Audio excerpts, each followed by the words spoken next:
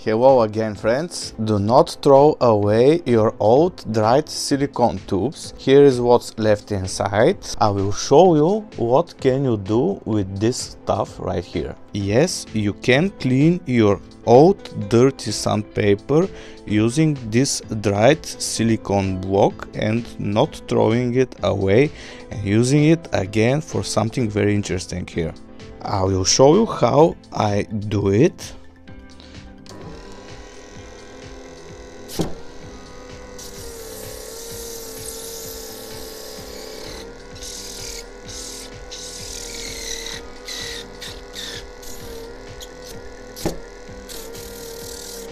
this is how it goes. You can definitely tell this old sanding paper looks like almost new right now.